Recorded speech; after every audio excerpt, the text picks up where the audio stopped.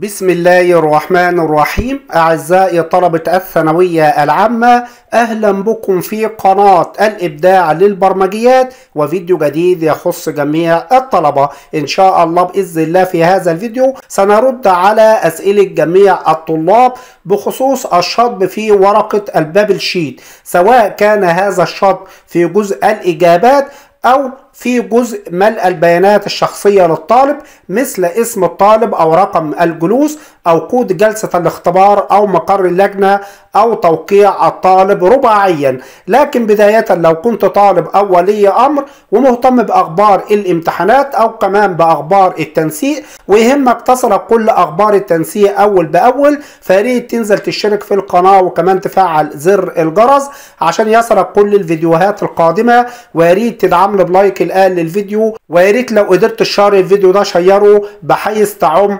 الفائدة. طبعا بعد مرور ثلاثة أسابيع من امتحانات الثانوية العامة 2022 الدور الأول ما زال بيبحث الكثير من الطلاب الآن أو بيتساءل الكثير من الطلاب الآن عن تعليمات الوزارة النهائية من حالة الشطب في ورقة ال bubble sheet وهل يؤثر الشطب على الدرجة الكلية للمادة؟ وطبعا ده اللي هنعرفه الآن من خلال بيان وزارة التربية والتعليم وكمان من خلال رئيس المركز القومي للامتحانات. وجه الدكتور رمضان محمد رمضان رئيس المركز القومي للامتحانات عدة نصائح لطلاب الثانوية العامة لهذا العام 2022 عن كيفية التعامل مع ورقة البابل شيت داخل لجان امتحانات الثانوية العامة 2022 الدور الأول. وجاء أبرز النصائح فيما يلي.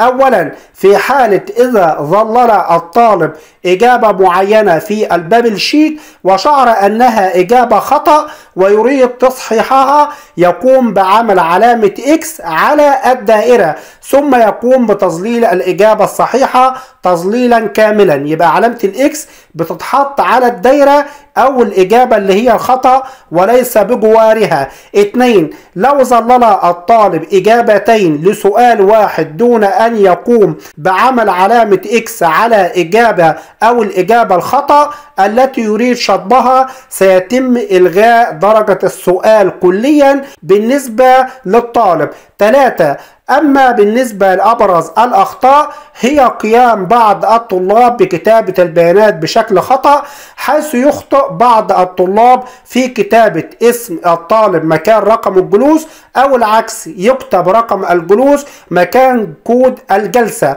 وهو الأمر الذي يعيق عملية كنترول أو عمل كنترول الثانوية العامة أثناء التصحيح. طيب بيعيق عملية العمل أو التصحيح إزاي؟ طبعا الورقة قبل ما تتقدم للتصحيح بتخش مرحلة اسمها مرحلة التكويد يعني إيه مرحلة التكويد اللي الورقة بتمر على المسح الضوئي أو السكانر. بعد كده في الخانات اللي هي خاصة باسم الطالب ورقم الجلوس وكود جلسة الاختبار ومقر اللجنة وتوقيع رباعي ده السكانر بياخده يسجله في ال database أو قاعدة البيانات اولا.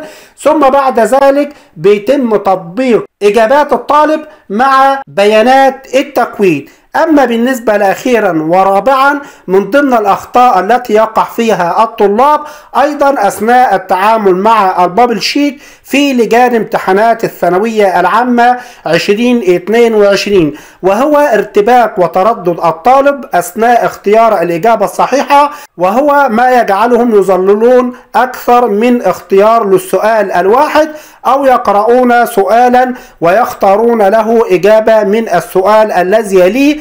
بسبب عدم استخدام مسطرة لتسهيل على العين تحديد السؤال الذي تتم إجابته وقراءة اختياراته دون النزول إلى السطر الذي يليه أو تظليل الإجابة بشكل غير واضح والبعض يظلل الإجابة بالقلم الرصاص وليس بالقلم الجاف. وطبعا ده خطأ. ورقة ال bubble sheet تحبر كاملة بالنسبة للدوائر بالقلم الجاف. وبكده يكون ردينا على أسئلة جميع الطلاب مش من عندنا من بيان وزارة التربية والتعليم والتعليم الفني وكمان من رئيس مركز أو المركز القومي للامتحانات الثانوية العامة 2022 الدور الأول.